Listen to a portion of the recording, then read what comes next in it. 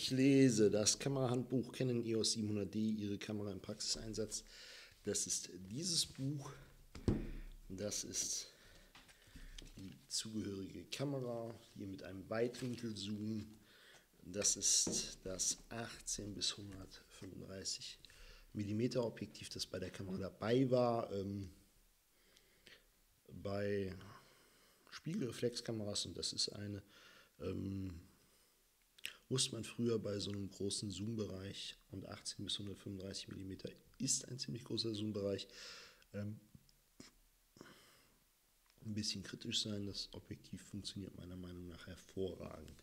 Ähm, will ich immer dazu sagen, es war damals äh, relativ neu auf dem Markt. So.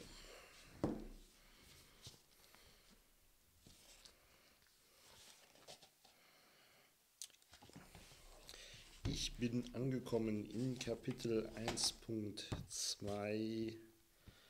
Das heißt, alle Bedienelemente im Überblick beim LCD-Monitor. Der Monitor hier hinten ist äh, schwenkbar, das ist sehr, sehr schön. Kann jetzt zum Beispiel auch so klappen, dann kann man drauf gucken. Ich mache jetzt einfach mal die Kamera an. So, dann sieht man auch so was ähnliches ähm, wie hier im Buch ich zeigen.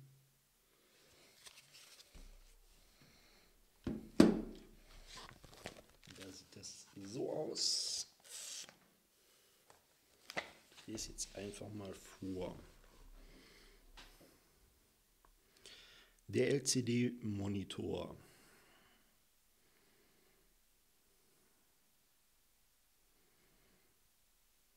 Tipp, wenn Sie die Erläuterung im dritten Einstellungsmenü in Klammern gelb deaktivieren, können Sie die Einstellung direkt nach dem ersten Antippen der Funktion verändern.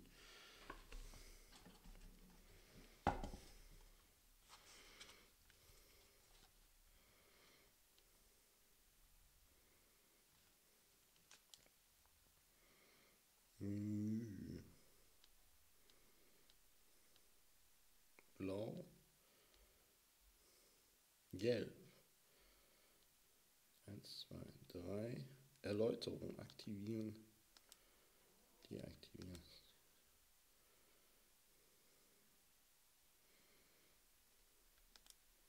Wieder auf aktivieren. Bis jetzt damit gut zu klar gekommen. Sieht so aus, dieses dritte Einstellungsmenü.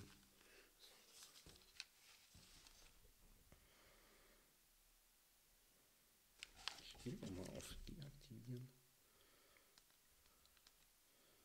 So, Menü zurück.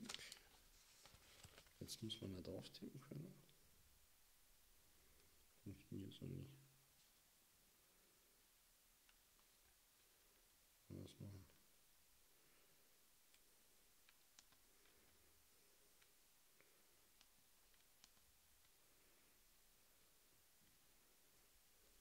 Man kann mit dem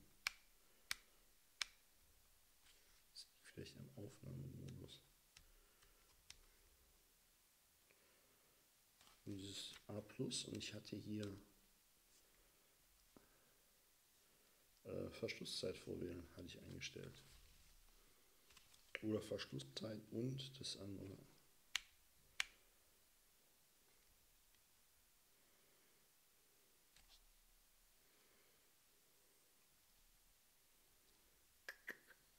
Ich konnte das mal.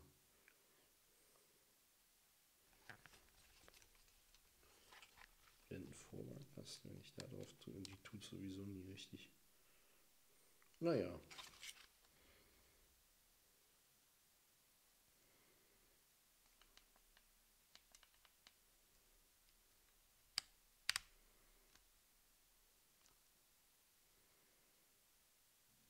Muss ich alles gerade nicht verstehen, macht aber nichts.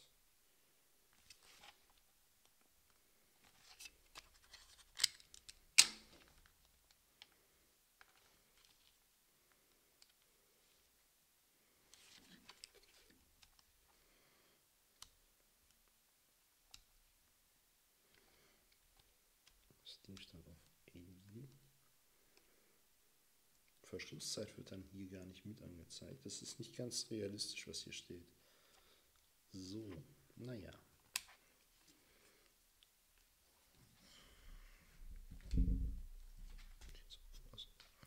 So,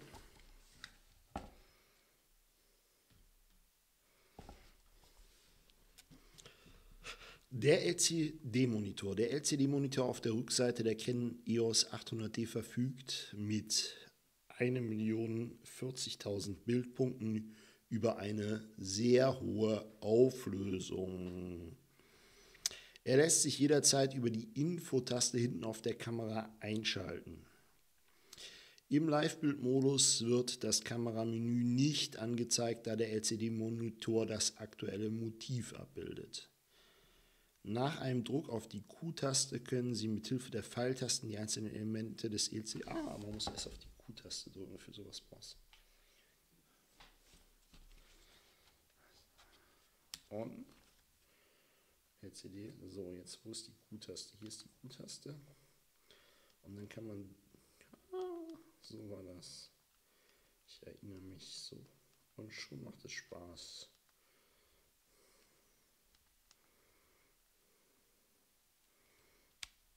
Lichtungskorrektur ist, wie ich die von der Kamera von der Panasonic kenne. Ist auch schön. Man kann auch zurück. Von der Q-Taste. Ah, so macht das Sinn. So. Ich bin zufrieden.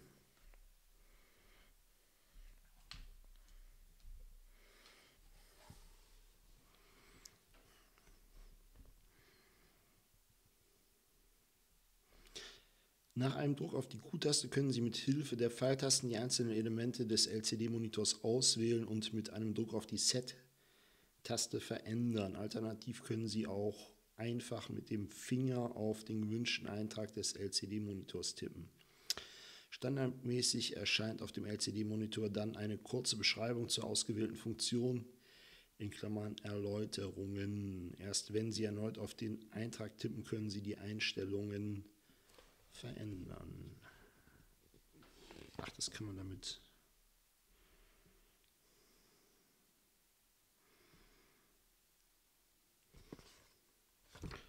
machen. So, es gibt dann Aufnahmemodus, Verschlusszeit, Blende, Tonwertpriorität, äh, ISO-Einstellungen, Tonwertpriorität ist Weißabgleich, diese Farbtemperatur, Belichtungsanzeige, Korrektur, Weißabgleich, Bildstil, Betriebsart, Autofokusmodus, Bedienung über Touchscreen einschalten, Akkuladezustand, Wi-Fi-Übertragungsstatus hat die Kamera nicht, Anzeige der GPS-Verbindung hat die Kamera auch nicht.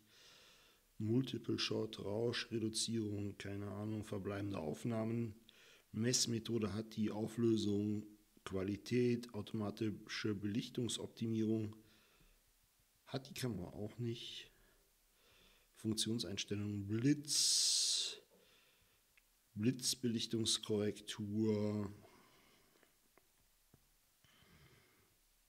und ISO-Einstellungen. Ja, so, es geht dann weiter mit äh, 1.3 startklar für die ersten Aufnahmen. Tschüss.